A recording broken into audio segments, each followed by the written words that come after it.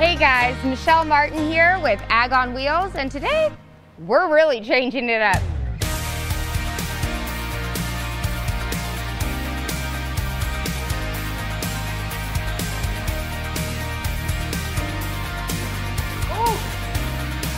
salad bars and some pizza restaurants Uh-huh. will actually use kale as a garnish to make their buffet look pretty.